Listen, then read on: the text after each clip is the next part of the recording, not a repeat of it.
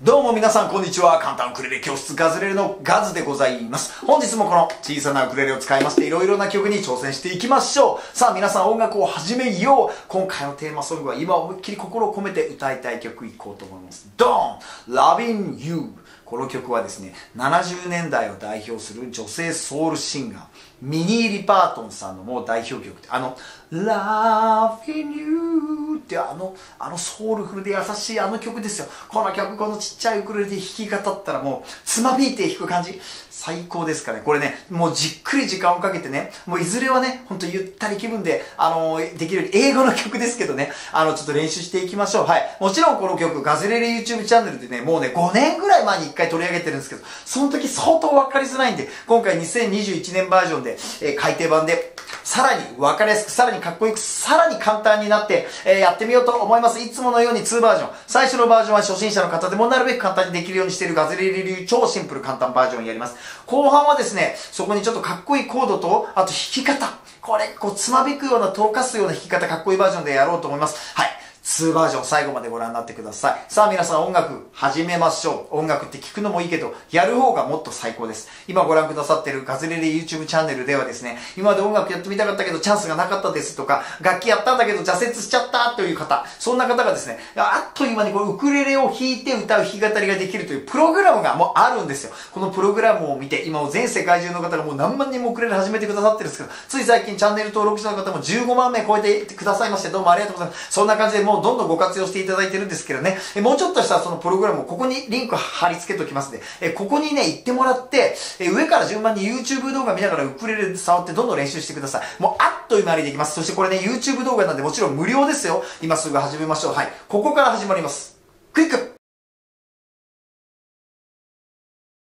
いってらっしゃい。そこには今までガズが取りためてきたこの世の中にあるありとあらゆる音楽ジャンルの曲がこのちっちゃいウクレレ1本でめっちゃ簡単に弾けるようにしてるレッスン動画、えーもうその課題曲、もうすでにね、1600曲以上もアップロードされているというふうに思います。はい。皆さんこれから音楽を聴くからやるに書いていきましょう。さあ早速、思いっきり心を込めて歌いたいこの曲 Loving You ガズレレ流シンプル簡単バージョンやってみます !1、2、3、4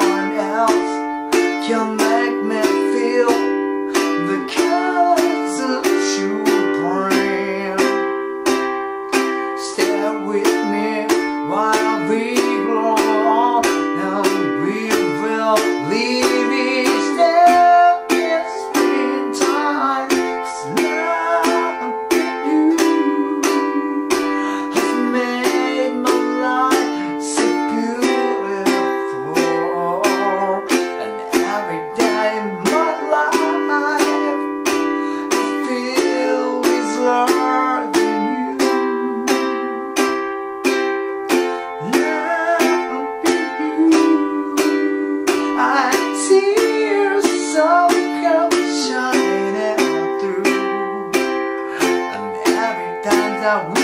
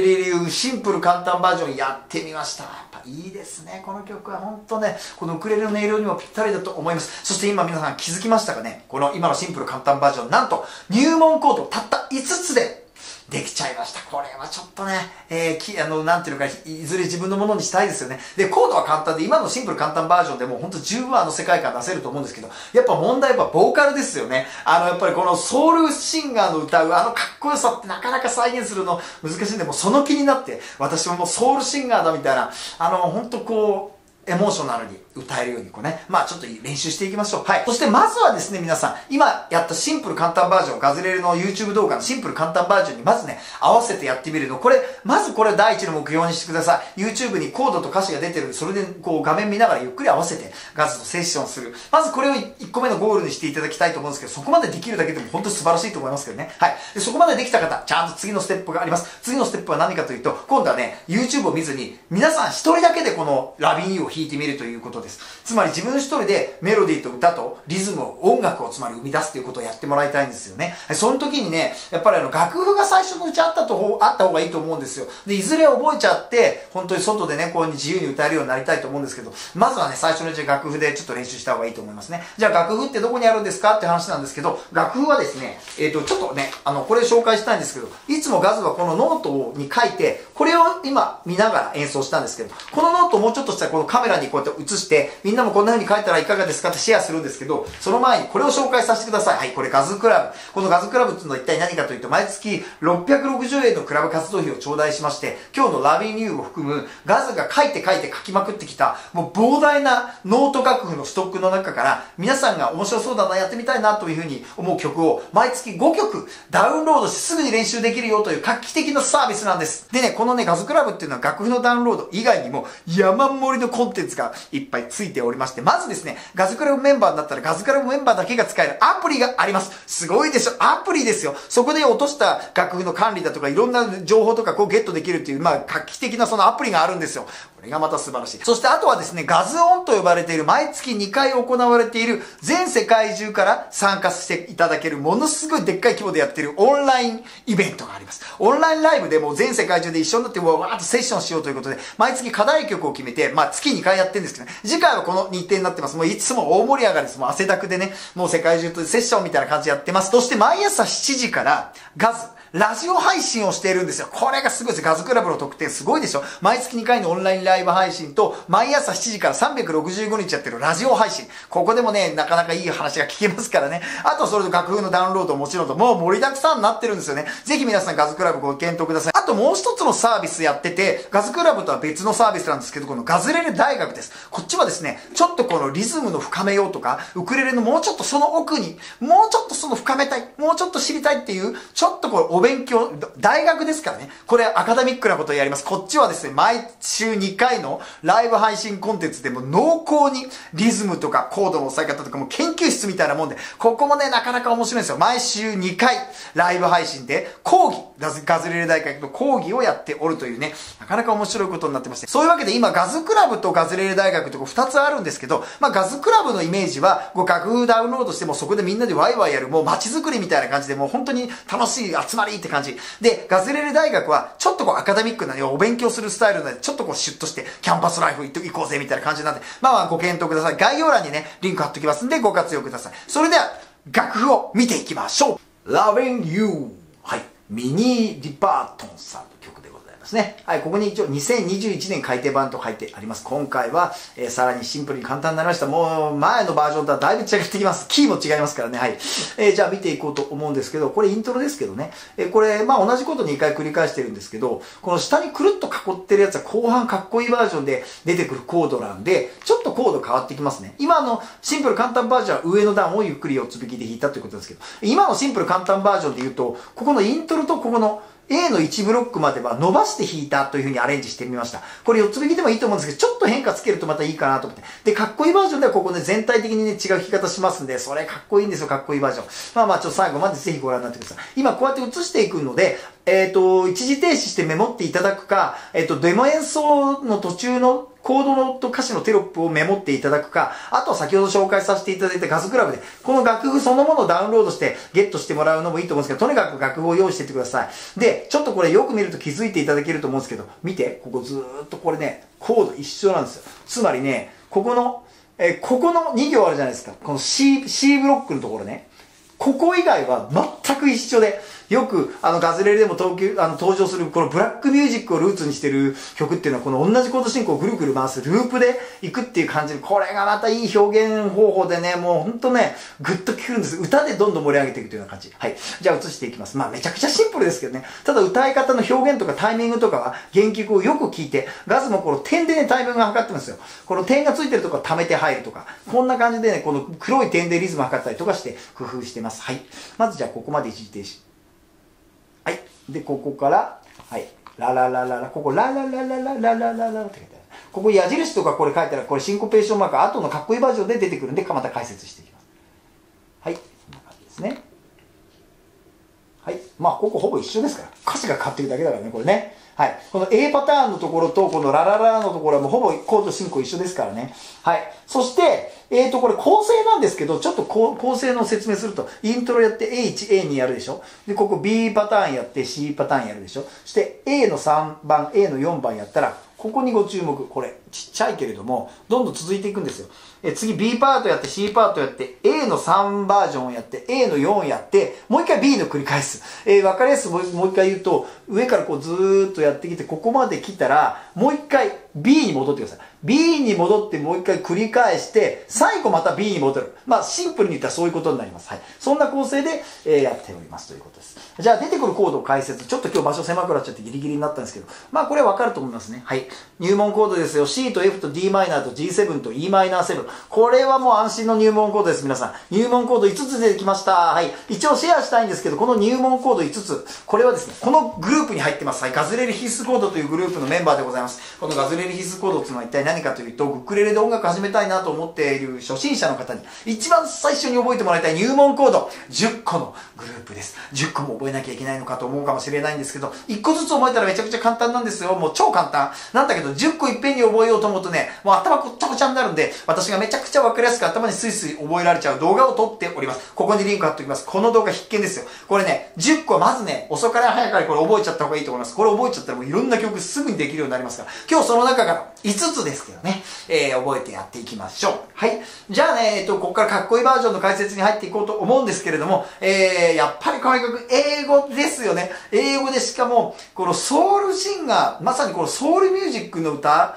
なんていうのかな、リズムブルースというかソウルフルな歌声ってやっぱり、なんつうの、教科書通りにね、やる音楽じゃないんですよね。本当にフィーリングとかエモーショナル、情動の音楽だと思うんで、もう貯めたり、その、本当こう、なんつうの、感情がもう音に宿ってるみたいな感じなんで、こうやって歌いなさいっていうのじゃちょっとないと思うんですよね。で、えもちろんそのミニパリ、リパートンさんのあの音源を聞いてもらって、そのニュアンスを汲み取ったとしても、結構オリジナルで貯めたり、アドリブを入れたりするのもすごくいいと思うんですけど、とにかく、なんつったってまず英語語だしね、英語だし、その、やっぱりこう流れるようなあの、グルーヴをよ、やっぱりしっかり聞いて、何回もこれ4つ弾きでいいんで、歌の練習した方がいいと思いますね。で、歌もある程度ね、こう気持ちよくなってきた時に、次のかっこいいバージョンの練習に入っていくのをお勧めするんですけど、はい。そんなわけで、まあ、ちょっとそんなイメージを持っていただいて、はい。かっこいいバージョンの解説に入っていきます。はい。かっこいいバージョンはですね、さっき出てきた F と C、ちょっとコードをガラッと全部変えます。まずは、これ。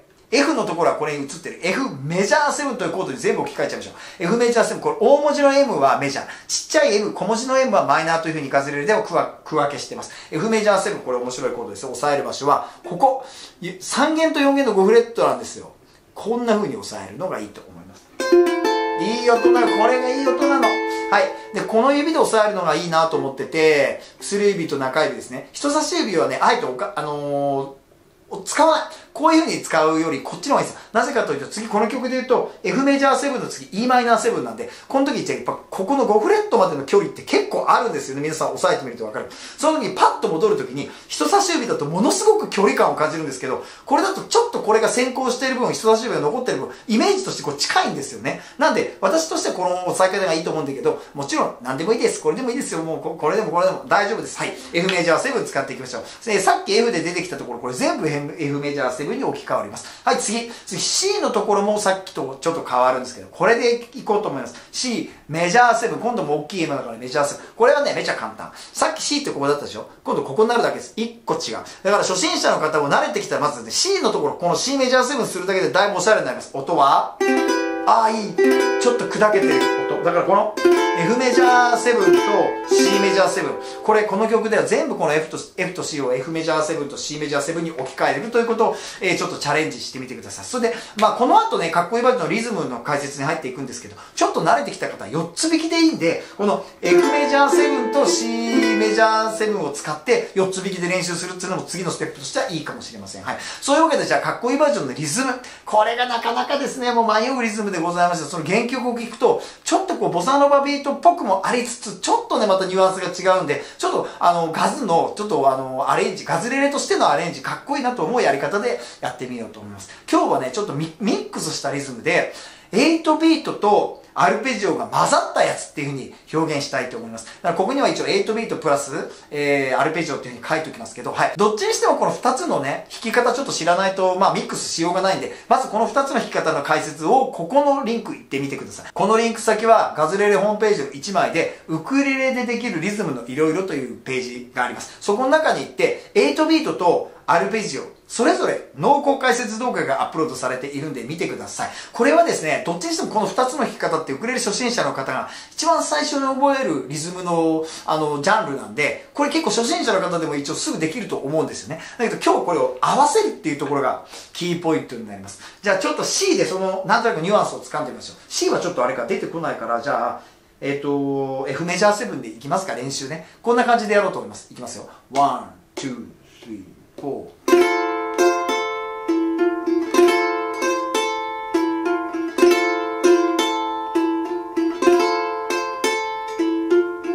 こんな感じ。ちょっとね、コードおしゃれすぎてわかんないじゃあ普通の C で今練習だから、せーの。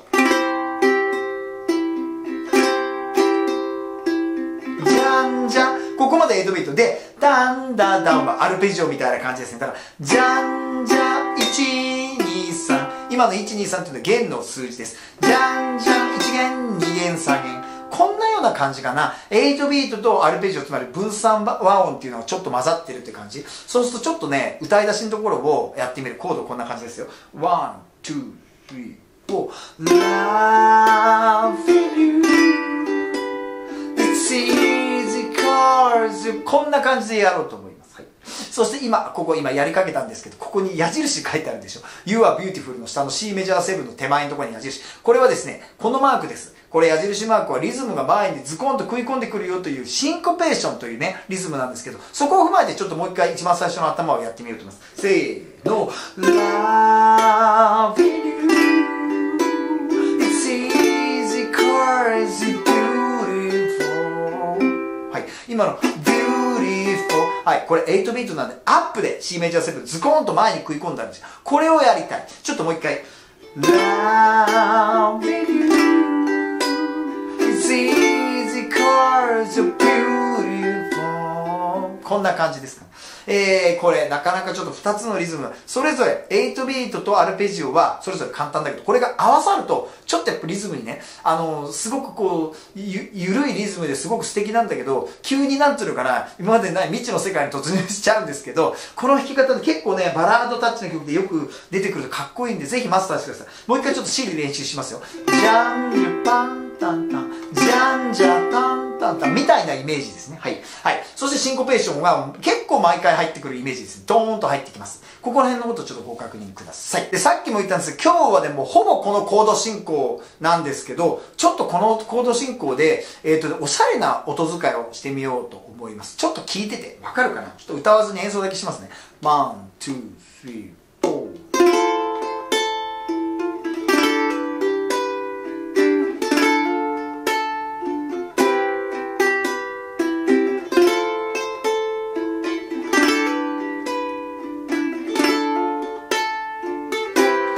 今分かった。トローンとちょっととろけたでしょ。これね例えば e マイナー7の時にこれ d マイナーの時はは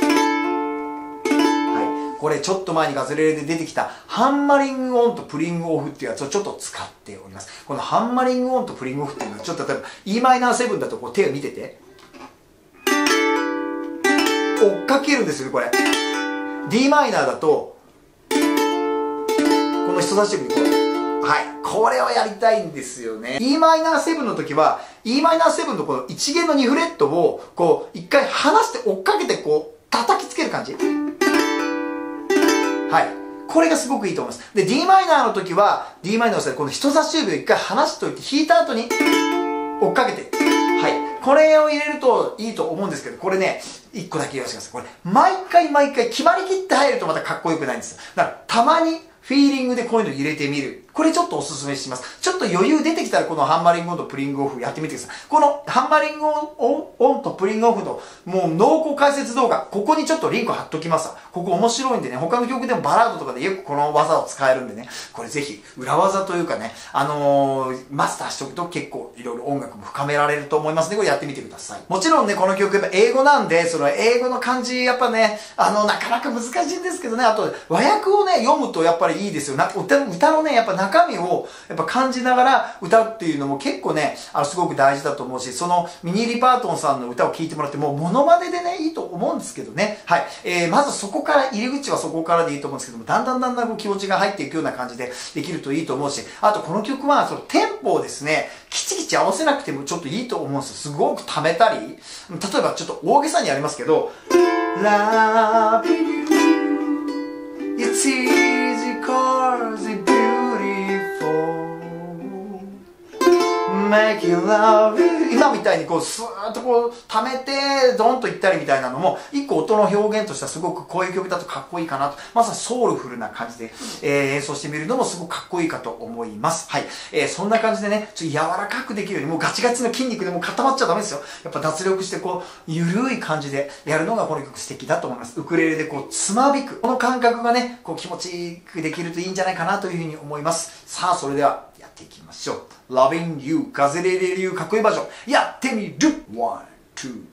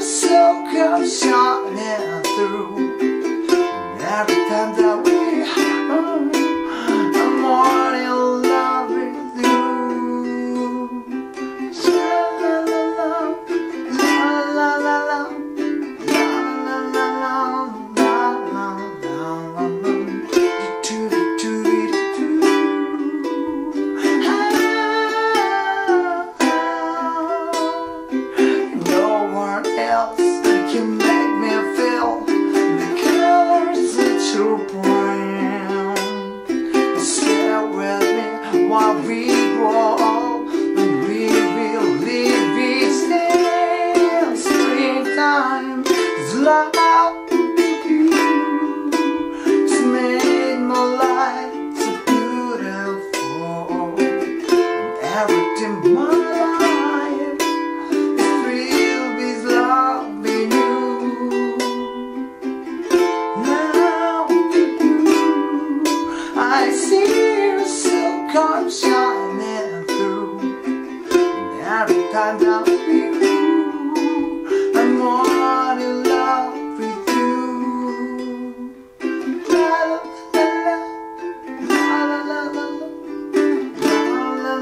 la la la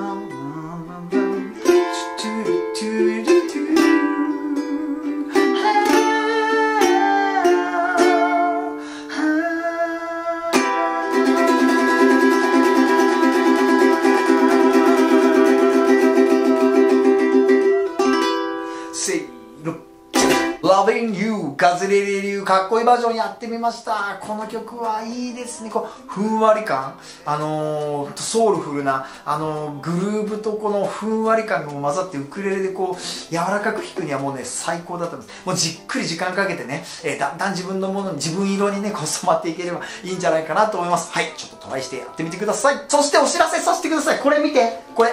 はい。これです。ちょっと以前もねこのリュックご紹介したことあるんですけどこれウクレレリュックなんですよ。ウクレレが入る。ここにガズレレとプリントがあったりとかしてこれリュックサックになるんですけどはいこんな感じで。でねあのこの横にも持てるんですよね。これだからビジネスマンの方これ横に持ってこれパソコンとかもここに入るんで出張の時とかウクレレとかのこれコンサートサイズも入りますよこのウクレレは。でこれもう大好評でもすごいお問い合わせをいただいていたのが、えー再発売決定になりましてちょっとね発,、え発送は5月20日順次になるんですけど今予約受付開始してます。このリュックのことに関するリンクちょっとここに貼っとくんでぜひチェックしておいてください。えーこれガズレレのアプリがあるんですよ。ご存知ですか？あのスマホとかタブレットに入るアプリなんですけどここにですね40曲の新しい曲のブロックが追加されたぞというニュースが最近飛び込んできました。あとそれに、まあ、付随しましてそのアプリのねアプリで提供してる楽譜がこうやって書籍になって本当の本になっちゃったってこれも新発売です。これガズレシピ。そしてですねこれも皆さん毎度おなじみだと思うんですけどこのリットミュージック社から出てるこの赤青黄色信号機みたいなこのガズレレのこのソングブックと教本なんですけどこの度ねこの緑色の本がですね4月にですね、えーリニューアルして中身がちょっと入れ替わってですねさらに進化版になって、えー発売になります。これもね概要欄のところに貼っといたりします。それとさっきもお伝えしたんですけどガズレレ大学とガズクラブこちらの方も大変盛り上がってますからね。これの方もさらにフォローしてもらいたいと思うんですけど、あと、ちょっとあの、ここにいつも挟んでるこの水引きだとか、ストラップとか、キャップだとかもういっぱいグッズも盛りだくさんで盛り上がっております。いや、これからね、ちょっと春めいてきてね暖かくなって、えー、お外行って公園とかでね、弾くのにもすごくいい季節だなと思います。音楽は聴くよりやる方が最高。皆さん、日常生活にポップな音楽を取り入れてまいりましょう。また、ガズレレ YouTube チャンネル見てくださいね。今日は見てくださってありがとうございました。さようなら。